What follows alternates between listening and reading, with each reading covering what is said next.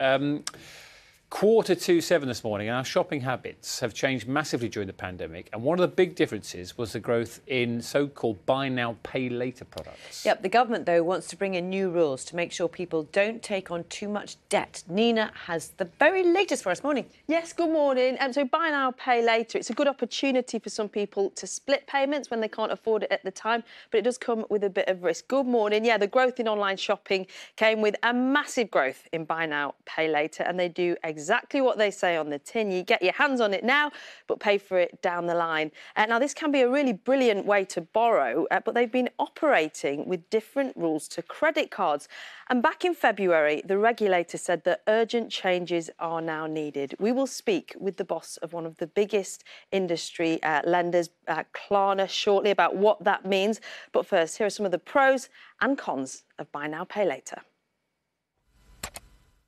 Buy now, pay later. A simple idea. Get what you want straight away and delay or maybe even split the cost. You owe the payment provider rather than the retailer.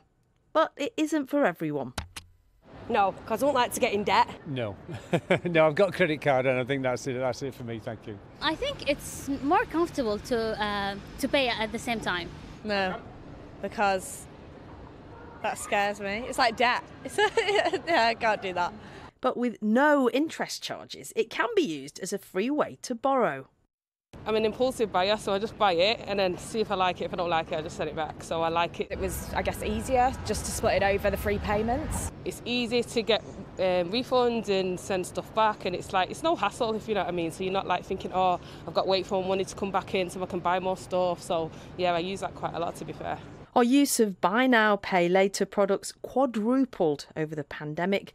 We spent £2.7 billion using services like Klarna, ClearPay, and Laybuy last year. The vast majority of that cash went on fashion and footwear, and three quarters of users are women. So, what's the catch? Well, the financial regulator is worried that people are encouraged to spend more, rack up unseen debts, and then face difficult and expensive repayments.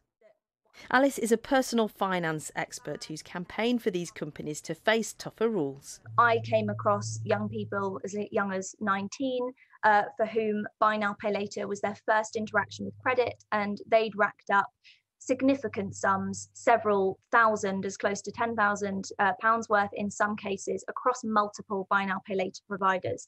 Um, and obviously, there's questions as to whether that should be um, possible. Um, and of course, you know, we can argue personal responsibility all we like, but I think in order to make good decisions, the perils of bad decisions also need to be need to be made clear. If I can pay for it in a couple of months, I kind of push it to the back of my head. I've done it numerous times before. And I've never had an issue with it, but on this occasion, um, I didn't make the payment in time. Definitely brings the trolley, shopping trolley, um, to a higher amount each time. I was not keeping up with it and i was delaying my rent payment and other essential bills so i had to get it all together and stop it one of the biggest criticisms of these firms has been the celebrity and influencer driven advertising, selling the product as a positive payment platform rather than debt. I am pleased to say that I think now buy now pay later firms or some of them have been listening to these criticisms and I have seen that things are starting to improve particularly around marketing and promotions. So it's great to see that. I think now the attention is on what the regulation actually looks like. I was just remembering one of my first job interviews where I bought a dress on a store card and put off the payment for a while. If that option wasn't available to me, I wouldn't have been able to buy the dress and feel good in the interview. So it's important, isn't it, in a sense to have that availability. Absolutely. I think for the sake of financial inclusion and ensuring that we're not excluding people from the access to credit, I welcome these products. And actually, in many cases, I think they can be a better alternative to high interest cards, payday loans, uh, whatever. I think absolutely. But better doesn't necessarily mean that they should be exempt from regulation. So I think there's a there's a balancing act there. The regulators called for affordability checks and more support for customers who are struggling to repay. The government says it will act as soon as it can, and the details will be crucial for both how we shop and the future of companies like Klarna. Let's speak then to the global boss of the Swedish firm Klarna, probably the most well-known buy now, pay later company. Sebastian Siemiatkowski joins us from London. Welcome to the UK. Good to see you. Um, as of today, Klarna will be rolled out a lot more widely. Tell us how that's going to happen and where you make your money from that. Sure. I mean, what we're launching today is the ability uh, with the usage of our app to use Klarna everywhere. So up until now in the UK, you have been limited to use Klarna only on the websites that are currently offering it. But with this new solution, you'll be able to use our browser and use it everywhere. So it really becomes a much better alternative to using credit cards. And it's still going to be, as it has been, with zero interest and zero fees. One of the criticisms of Klarna uh, that came from the review was that it is credit, but it doesn't necessarily appear to be so. That young people are taking on this debt, but the messaging at that point of purchase is not clear enough. Yeah, I'm that one. I'm a little bit confused by because like I've reviewed all of our uh, screen and presentations, and while there's always things that you can improve and so forth, I, I've I've struggled to find a consumer myself who said that they used our service and didn't understand that they would eventually have to pay for the goods that they bought. So, um, so I think I'm I'm a little bit confused. Maybe there's other reasons why that has come from, but I, well, I actually some, that that one some of the uh, one one of the young people that Alice, the campaigner who had in our piece, spoke to said, um, "I ended up spending a thousand pounds without realising it. The main problem is they don't scare you enough. All they wanted was my name and date of birth, so it didn't feel like I was taking on something that was a big responsibility. And the bottom line is these are young people. They're, they're buying lots of goods very quickly, and maybe their first experience of using credit." Yes. So first and foremost, like the average age of people using Klarna is 33. Um, we have uh, reports from our agents, credit agencies that shows that 93% of the people using our products are near prime.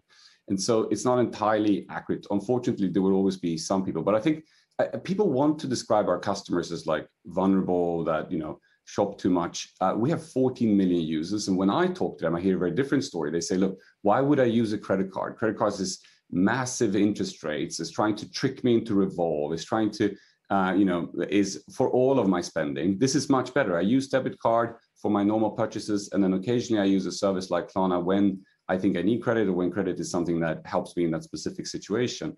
I think, I mean, in Britain, we have more credit cards than we have adult people. Like this, uh, this solution is a better solution for people because it is free of interest. It doesn't have additional Uh, late fees. It's not trying to make money that way. And so it's better for the consumer using this. So why not then allow affordability checks at the point of purchase so you can see whether the consumer has taken on debt with other companies? Because at the moment that doesn't happen.